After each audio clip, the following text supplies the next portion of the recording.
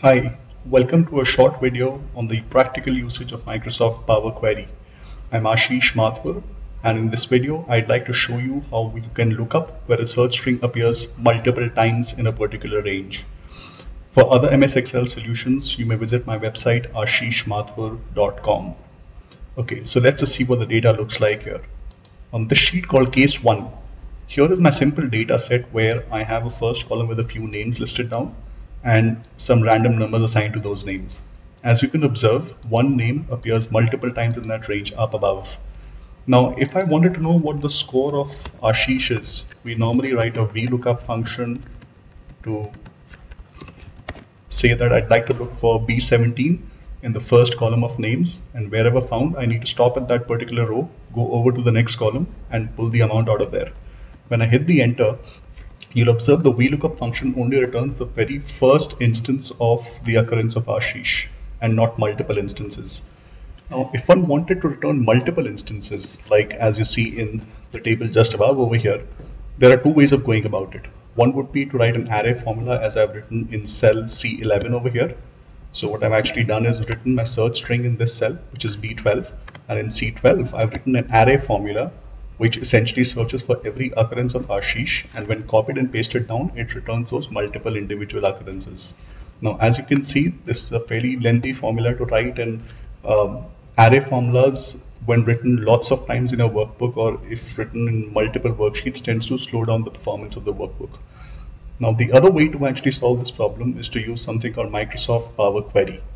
So this is what the Power Query solution would look like. In a separate range over here, I've typed what my search string is, giving it a relevant heading. So the heading there is name names to look for, and my search string there is Ashish.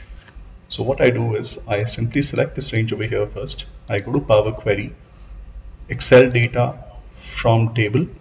Where is the data for your table? B2 to C9. Does my table have headers? Yes, it does. Click on OK.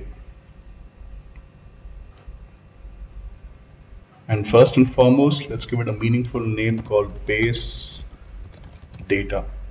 I would not like to load this to the worksheet, so I uncheck the box over there and I click on apply and close. So I simply I, I, simply import table into Power Query and get that name called base data. The load has been disabled into the worksheet, so that's why you see load is disabled there. Now let's do the same for the search string as well. I select the two cells, and head on to Power Query from table. F2 to F3 my table has headers. Click on OK there. And let's give this a name called search string.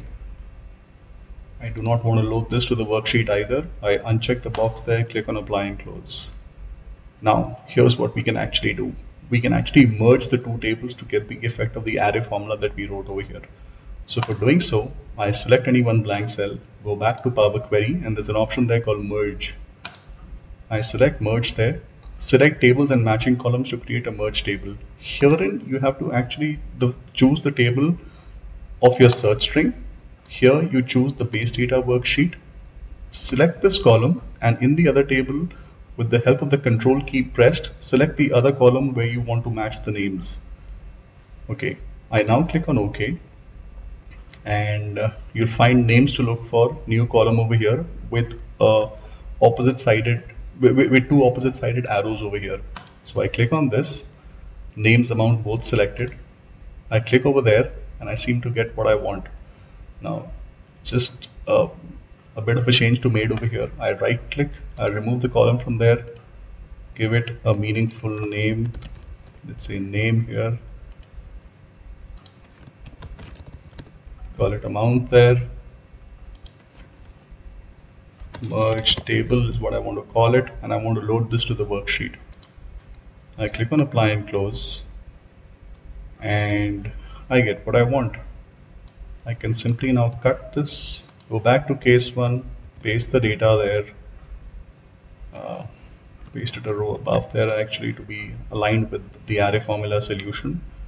Right click uh, and under table under external data properties I just uncheck the box for adjust column width so that every time I refresh I do not want the columns to contract or expand Now, just to see whether it's working fine or not, if I were to enter Sanjay here and I right click and refresh my pivot table,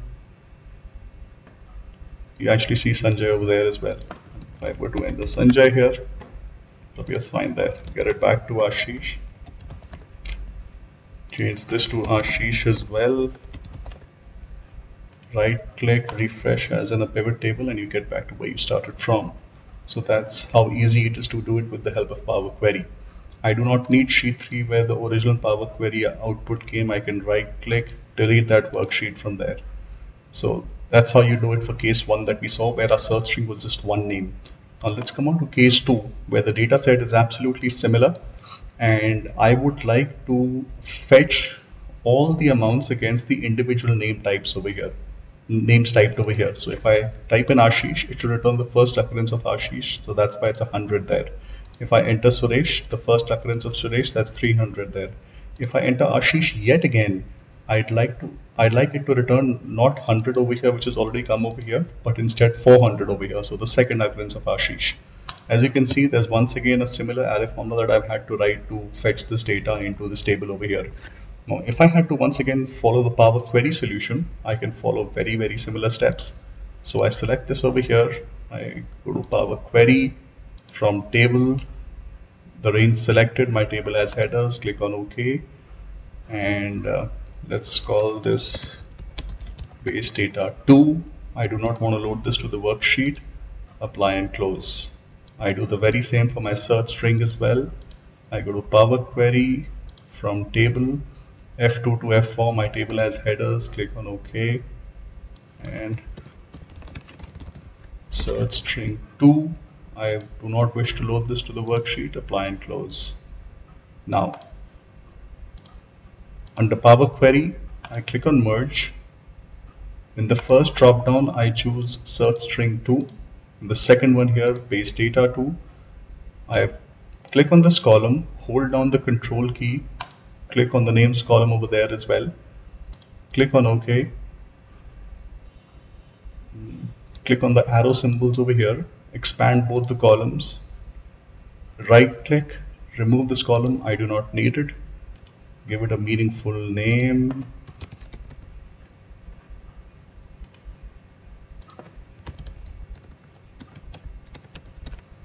And give this one a meaningful name as well.